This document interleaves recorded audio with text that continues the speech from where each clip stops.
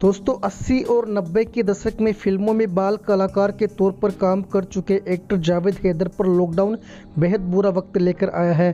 काम न मिलने के कारण जावेद सब्ज़ी बेचने पर मजबूर हो गए हैं। जावेद की हालत का पता तब चला जब डोली बिंद्रा ने उनका वीडियो अपने ट्विटर हैंडल पर शेयर किया है।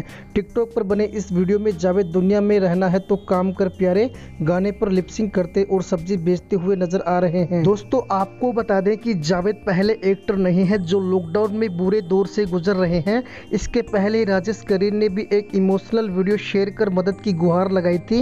वीडियो वायरल होते ही राजेश को आर्थिक मदद मिल गई थी।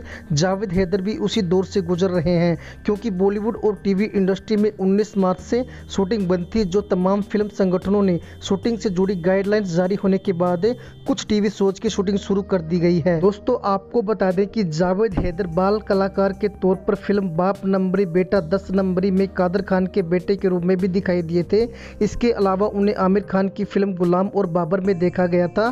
टीवी शो जीनी और जूजू लाइफ की एसी की तेज़ी में भी नज़र आए थे। चलिए दोस्तों, जावेद हैदर की यह वीडियो आप देख लीजिए कि किस तरह से वो सब्ज़ी बेचते नज़र आ रहे हैं।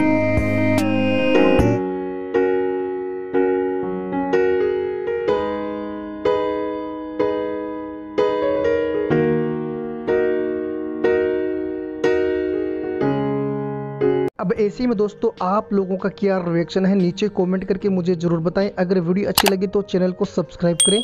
वीडियो को लाइक और शेयर करना ना भूलें। धन्यवाद दोस्तों वीडियो देखने के लिए।